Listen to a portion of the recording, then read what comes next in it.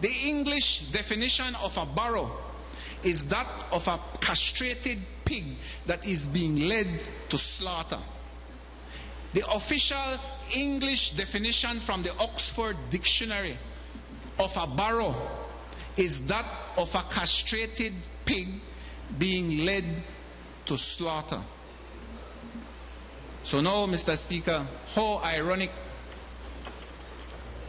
how ironic, and that is not insulting the member. I It's am not? only no, It's I am not. only defining and using the English dictionary. He will have a chance to respond, you know, member. Yes, fine. All right. Then can I go lower than that, boss. Open the door. take it. Open the door wide, wide, wide. Mr. Speaker,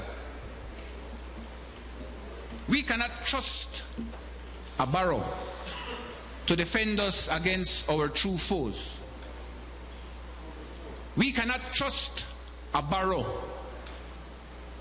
to negotiate on our behalf. And for that reason, Mr. Speaker, I have a problem in going to the ICJ because the movement is being led by a barrow.